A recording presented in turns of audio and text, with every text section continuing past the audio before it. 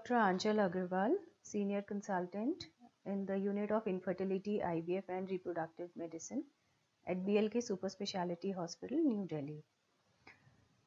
As we all know, infertility is an ever increasing problem, more so nowadays because of various factors which have been talked about so often, like uh, more uh, stress on the careers, late marriages, our lifestyles. We are all very stressed out the whole day.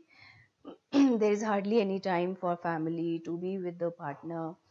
Uh, the food habits have all changed, and uh, even the work profiles are so stressful that there's hardly any time and energy left to think about a child. Having said all that, I would uh, like to add that having a child is every woman's and every man's dream because everyone would want to see their progeny. Putting it in simple terms, I would say that I would like to see a small child who grows up and looking at him or her, people say, Oh, see, she looks like exactly like Aanchal. She, he looks exactly like Aanchal. So, that's one joy that nobody wants to be devoid of. And that what brings people to us.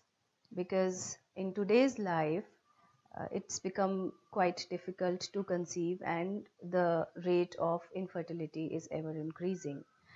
Now um, seeing the increasing trend seeing the increasing age at which people are marrying and at which people want treatment there are various options available. Like there some people conceive only with simple solutions like correction of hormonal defects like follicular monitoring. Some might require intrauterine insemination if there is a little bit of defect in the sperm uh, count or motility there is mild endometriosis there is ovulation disorder but the treatment which gives you the highest success rate and which works in most of the cases is IVF. Couples where uh, both the tubes are blocked in the wife due to a previous infection or a previous surgery, in cases of severe endometriosis, in cases of severe polycystic ovaries, in cases of severe male factor where the count, motility, morphology are abnormal.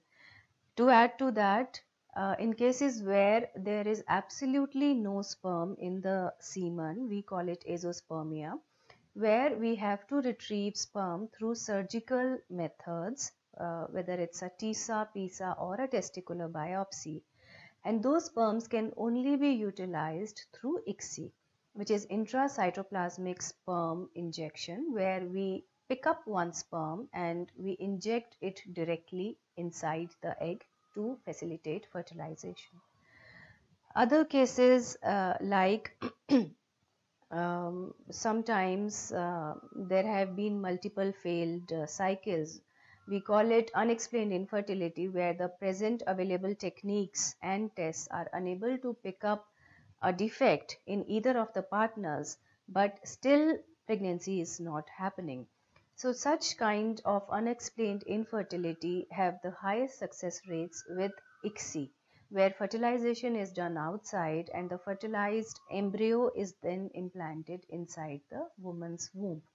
The success rate of IVF goes as high as 80% in few months and but to average it out, uh, I would put it at 40 to 45% because if you take the average of the whole year, it comes to that much, and which is the global standard in literature as well. At BLK Infertility, IVF, and Reproductive Medicine Center, we have all the facilities to treat infertile couples under one roof, whether it is male infertility, whether it requires surgical sperm retrieval, or it requires laparoscopic or hysteroscopic corrective surgeries for tubal corrections, for removal of septum, polyp, fibroid, or IUI or IVF.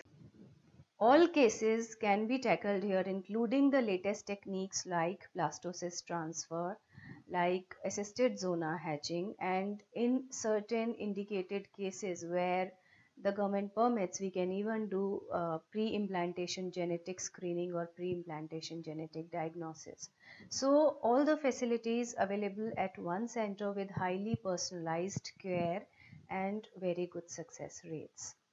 In case of any further help, queries, or information, please subscribe to our YouTube channel.